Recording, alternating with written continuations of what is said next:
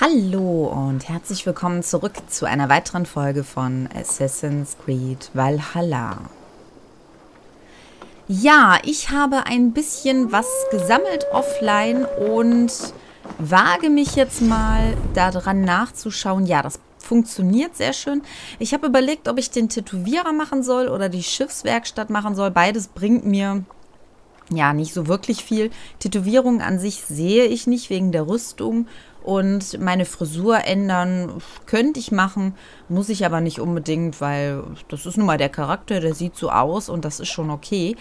Aber das Langschiff ändern, das hat mich so ein bisschen gereizt und dementsprechend denke ich mal, werde ich jetzt die Schiffswerkstatt bauen.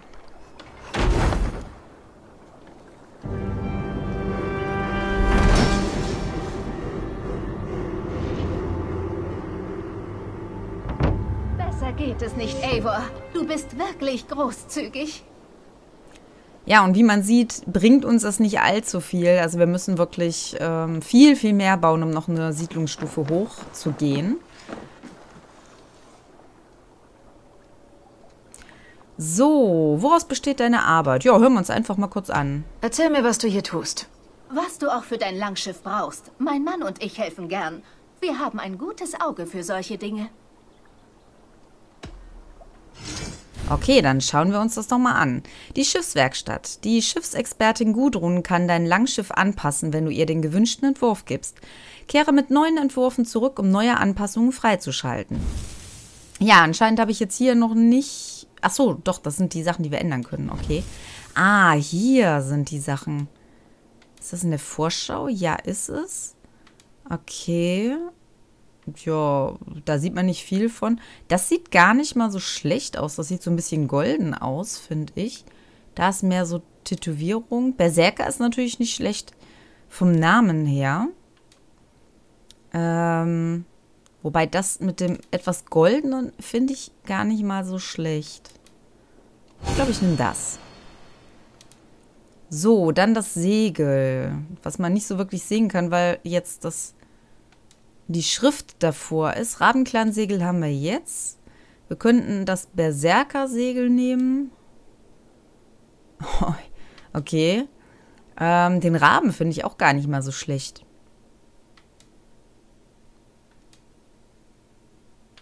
Den Raben? Krähe? Wie auch immer. Ähm, also ich finde das eigentlich ziemlich cool. Deswegen nehme ich das jetzt mal. So, die Schilde, die da dran sind. Farblich. Farblich passen sie mehr oder weniger alle. Ich würde jetzt mal die Berserker-Schilde nehmen. Oh, das ist geil. Hm. Der Berserker-Kopf ist natürlich nicht schlecht. Aber der Vogel an sich, ich denke, es ist ein Adler, der, den finde ich immer noch am besten irgendwo. Passt alles jetzt nicht so richtig zusammen, aber es ist ja auch nicht schlimm. Ach so, da hinten das Heck, okay. Okay.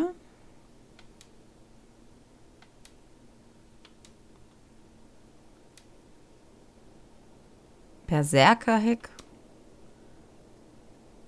Aber mit den Flügeln finde ich es eigentlich auch gar nicht mal so schlecht.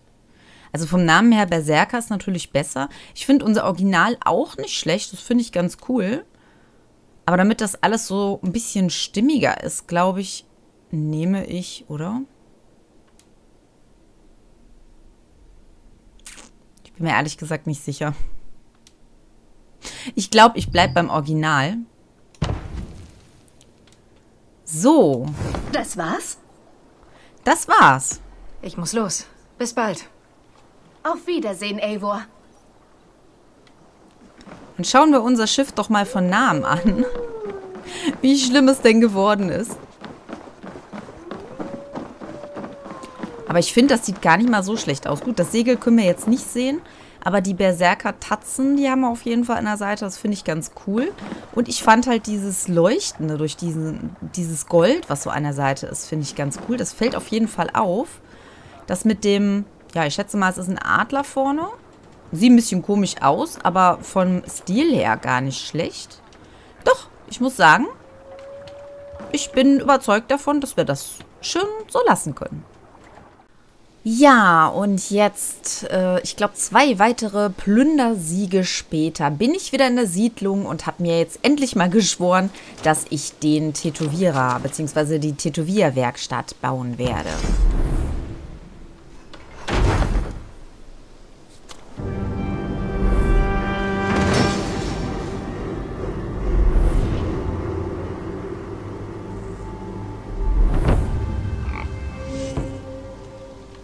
Eivor, schön dich zu sehen.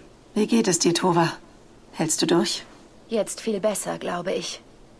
Ich vermisse Swain jeden Tag und doch ist er bei mir. Sein Huger findet sich in jedem Entwurf. Daran zu denken, hilft. Das freut mich. Und ich biete mich gern als deine Leinwand an. Oh ja. Gut. Fangen wir an. Ich habe an neuen Entwürfen gearbeitet. Okay. Was kannst du mir heute anbieten? Ja, dann schauen wir doch mal. Frisieren und Tätowieren. Passte das Aussehen von Ava in der Tätowierwerkstatt von Swain und Tova an? Naja, nur noch Tova. Bringe ihnen kosmetische Entwürfe, um neue Stilrichtungen freizuschalten. Rabenwache Kopf. Also ich schätze mal, das ist der normale. Moment, klassisches Haar. Rabenwache Kopf. Das heißt, das sind die Tätowierungen dann. Okay. Ja, dreh dich mal, damit ich was sehen kann. Die sieht eigentlich gar nicht so schlecht aus. Also die sind ja ziemlich lächerlich. Das ist natürlich ganz cool. Das fällt dann auch nicht so ins Gesicht rein. Dreh dich nochmal. Also, die finde ich ganz cool, wo sie im Gesicht tätowiert ist. Und die hier. Ich würde jetzt mal einfach sagen, ich nehme die. So, dann schauen wir mal auf der Brust, beziehungsweise vorne. Hey, das sieht natürlich auch nicht schlecht aus. Ach, dreh dich doch mal, Mädel.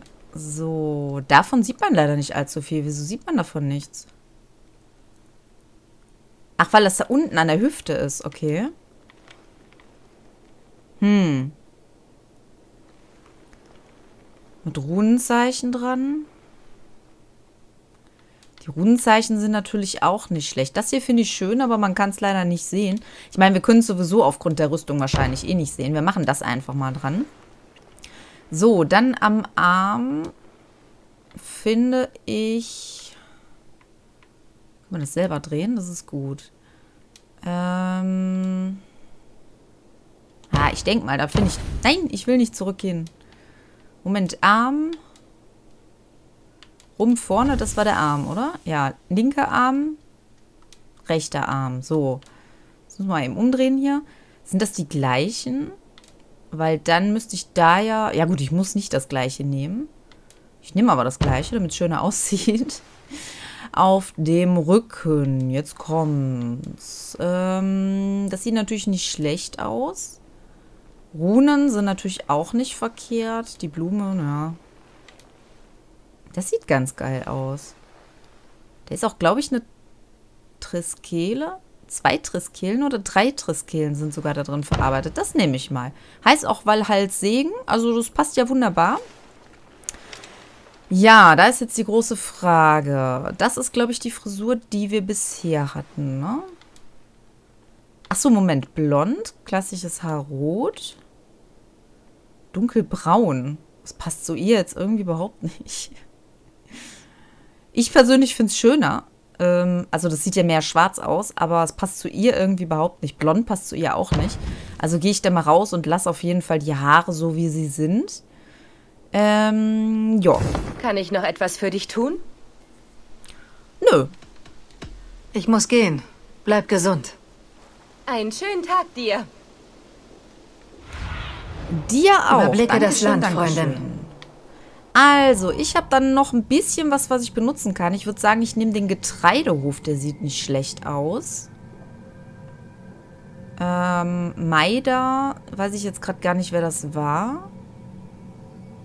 Oder den Viehhof. Also da würde ich jetzt zu tendieren, eins von den drei Sachen zu nehmen. Also wir haben jetzt im Endeffekt nur noch die Festmahlstärkung. Da ist es relativ egal, was wir für einen nehmen. Schauen wir mal eben, was steht denn hier drauf? Attentatschaden. Also da gibt es natürlich noch Unterschiede, deswegen möchte ich da nämlich gerne mal schauen. Das ist Fernkampfschaden, der wäre natürlich nicht schlecht für mich. Wenn der auch nochmal erhöht würde. Attentatschaden finde ich jetzt eigentlich nicht so wichtig. Ich nehme mal den Viehhof.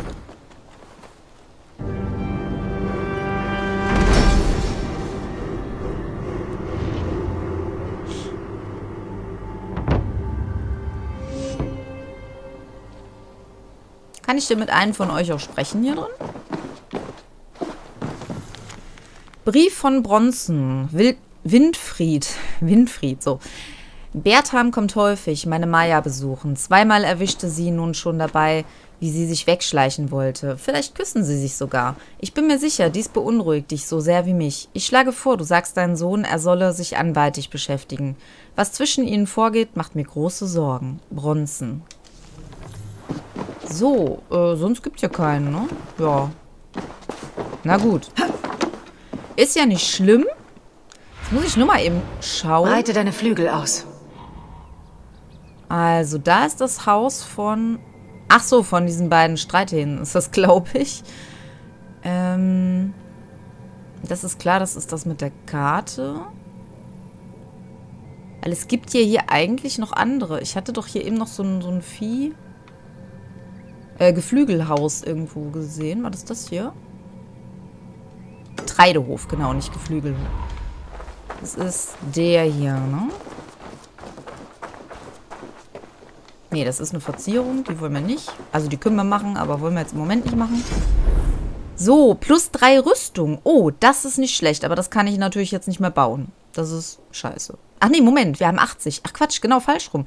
Ja, dann machen wir doch die Rüstung ein bisschen hoch.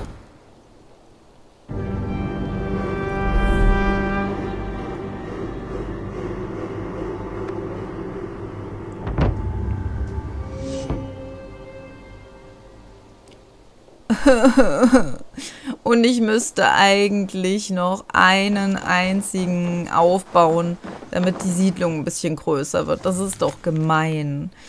Vögts Merkblatt, Samen auf Krabbeltiere untersuchen. Felder für Gerste, Hafer, Roggenkennzeichen. Tegler fragen, was sie dieses Jahr an Weizen braucht. Mit Gunnar Flugklinge prüfen. Okay, und was haben wir hier hinten? Irgendwas Wichtiges oder... Brief von Gudrun an Runa. Die Kinder machen in letzter Zeit so viel Ärger. Kürzlich brachten sie eine ganze Kiste mit Eichhörnchen herein, die sie gefangen hatten, und ließen sie im Haus frei. Oh je. Es dürften zwölf oder dreizehn gewesen sein. Völliger Wahnsinn. Sie rannten überall herum und haben ein ganzes Segeltuch vollgekackt. Die Eichhörnchen meine ich, nicht die Kinder. Ich weiß, dass ich solches Verhalten nicht ermutige.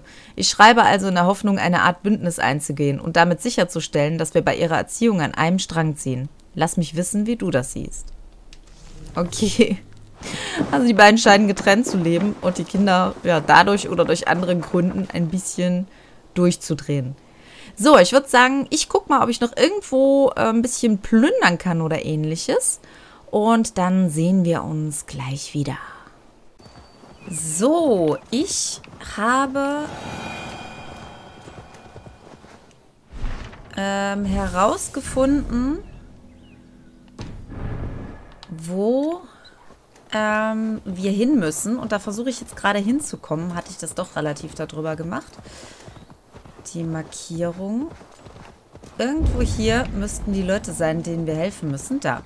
Verteilt euch und kommt von der Seite, Jungs. Und bleibt wachsam, sonst endet ihr am Galgen. So, das nehmen wir aber noch eben. Bevor wir jetzt hier... Hallo? Bevor wir jetzt hier anfangen, speichern wir noch mal kurz, weil wir wie blöde durch die Weltgeschichte geritten sind. Ihr da, warum schleicht ihr hier herum? Einer von Edwins Wachtrupps ist auf dem Weg hierher. Wir überfallen sie.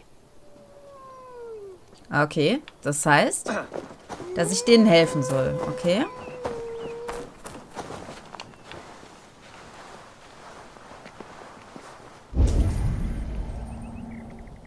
Wann kommt der Wachtrupp?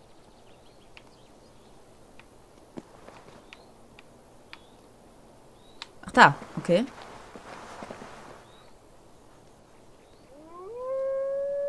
Ruhig, Jungs. Wie Lämmer zur Schlachtbank. Sagst du, wollen wir die angreifen, oder?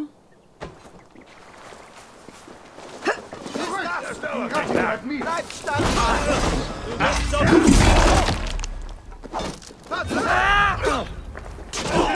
Du bist nicht mehr willkommen.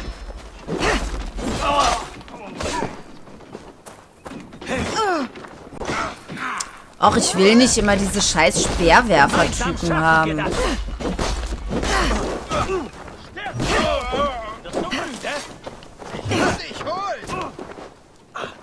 Könnt ihr euch nicht mal um den kümmern? Die sind mir... Hallo? Kann die auch mal sich vernünftig bewegen, oder? Also im Moment, aber das habe ich jetzt schon von vielen Spielern gehört, funktioniert im Moment nichts mehr mit den Tasten.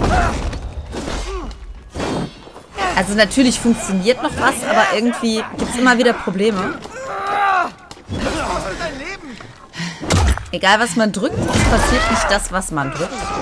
Ich habe Edwins Verteidigung genug geschwächt. Ein Angriff aus dem Hinterhalt auf ihre Soldaten sollte der letzte Schlag vor der Schlacht sein. Okay, und was heißt das jetzt? Dass wir Fertigkeitspunkte auf jeden Fall bekommen haben. Die Frage ist jetzt nur...